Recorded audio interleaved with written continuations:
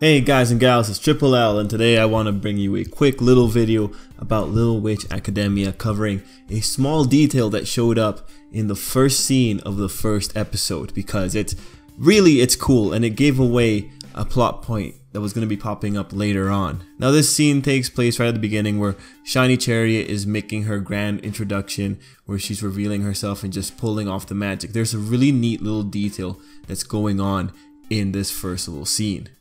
Right there. Look who that is right there. Good old Diana. So this right there gave away the whole plot point on what Diana really thought about Shiny Chariot. And here we can see the guy who most likely is her father.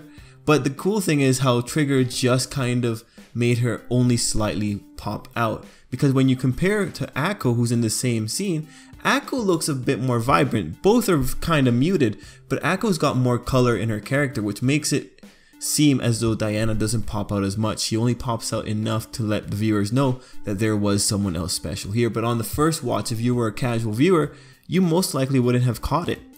Now here we get a pretty good shot of both characters in the same kind of frame and we can see Diana's way more obscured. Really, when you're watching this for the first time and you haven't seen the previous movies, you'd just be focusing in on Akko because Diana is just a bit more subdued than Akko is.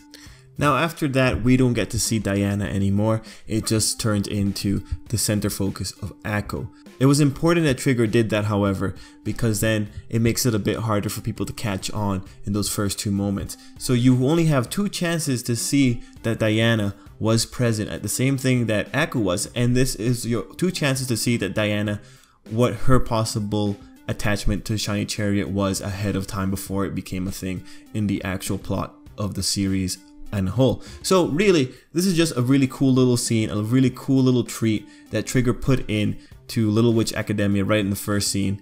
So, you know, props where props is due. It was cool to see that this little detail was there and could reward someone when they're coming back on the second watch.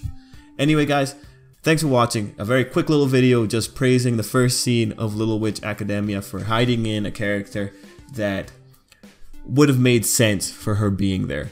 You know, Trigger added in an extra sense of the fate between these two characters, the coincidence that they're both at the same event at the same time. Anyway, guys, pretty much it for me. Thanks for watching, and until next time, I hope you have a really, really great day.